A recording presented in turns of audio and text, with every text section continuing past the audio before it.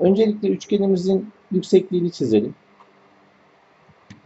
Burada bir yükseklik doğrusu çizdik. Buraya D noktası diyelim. E, AOC üçgeninin ikizkenar üçgen olduğunu görüyoruz. Çünkü hem burası hem burası yarıçap. E, çemberin yarıçapı. Dolayısıyla her ikisi aynı miktar uzunlukta. Buraya bir yükseklik çizdiğimiz zaman ikizkenar üçgende yükseklik aynı zamanda kenar ortay olduğu için şuralar birbirine eşittir ve bunların değeri de 8'er birimdir. 8, 8.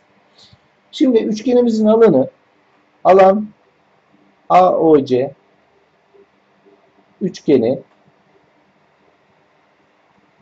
nasıl bulunacak? Yükseklik OD çarpı uzun kenar yani yüksekliğin dik olarak indiği kenar AC bölü 2. Alanımızı biliyoruz. 48 Yüksekliğimiz h olsun. AC uzunluğunu biliyoruz. 16 bölü 2. Buradan yüksekliği bulabiliriz. Yükseklik e, 2.96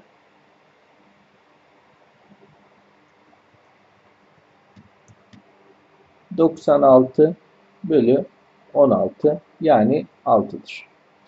Şimdi burası 6. Burası 8. Burası dik üçgen. Dolayısıyla şurası OC hipotenüstür. ODC üçgeni için ve bulabiliriz. Ne ile? Pisagor'la. Zaten özel bir üçgen bu. Gözüküyor. 6, 8, 10 üçgeni. Hipotenüs 10'dur. Bize neyi soruyor? Çemberin yarıçapını soruyor. Çemberin yarıçapı hem bu, hem bu, hem de budur. Yani 10 de 10'dur. Doğru cevap E şıkkı.